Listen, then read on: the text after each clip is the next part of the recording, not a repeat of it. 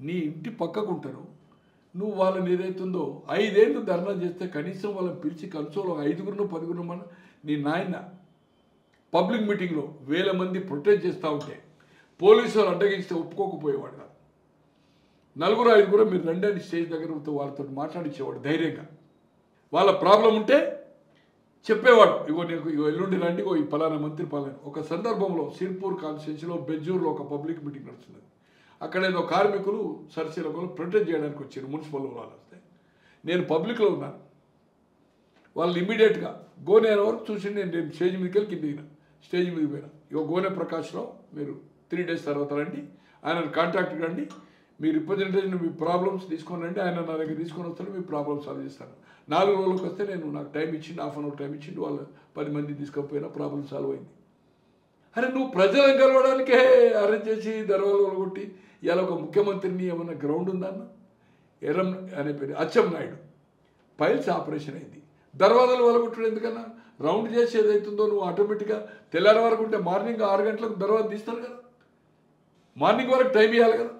అయ్యన పాత్రుడు ఏం చేసిండు? ఎంత అన్యాయం అండి? ఆయన పేరు ఏంది? రవీంద్ర ఇప్పుడు మంత్రి అయింది కదా మళ్ళీ ఎక్సైజ్ కొల్లు రవీంద్ర. కొల్లు రవీంద్ర. ఎంత అరాజ్ చేసిండు? ఒక డాక్టర్ సుధాకర్ అని ఎంత అన్యాయం అన్న? ఎన్ని ఇన్సిడెంట్స్ అన్న?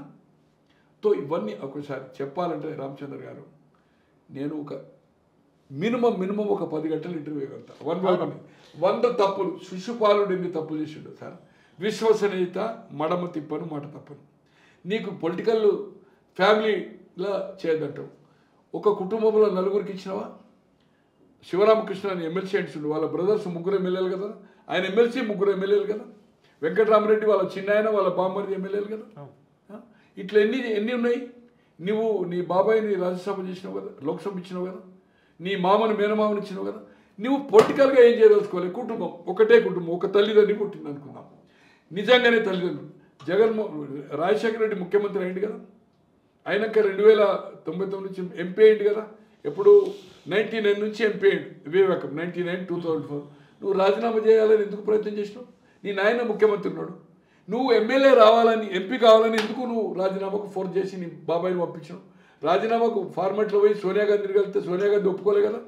నీవు రాజీనామా చేస్తే నీ కుటుంబ సభ్యులకు నేను లోక్సభ అని చెప్పింది. Tell your brother Rajasekhar Reddy అని చెప్పింది. రాజశేఖర్ రెడ్డి గారు. ఎవరు? సోనియా గాంధీ. బయటకు వచ్చిండు. ఆ రోజు నువ్వు ఎంపీ కావాలని ఎందుకు ప్రయత్నించావు రైట్ ఓకే వివేకం గారు సిట్టింగ్ ఎంపీ. అంతకుముందు ఎమ్మెల్యే చేసిండు ఎమ్మెల్యే చేసిండు. నువ్వు ఎందుకు ఆయన ఆయన సీటుని తీసుకొని నువ్వెందుకు పోటీ చేసినావు నేను ఆయన ముఖ్యమంత్రి ఉండగా రెండు వేల తొమ్మిదిలో. నీ చెల్లికి హక్కు అర్హత లేదా? లేదు. నువ్వు ఆమెను ఎందుకు తిప్పినావు పాదయాత్రకు? ఆమెకు ఎందుకు లోక్సభ ఇస్తాను? తర్వాత రాజ్యసభ ఇస్తాను?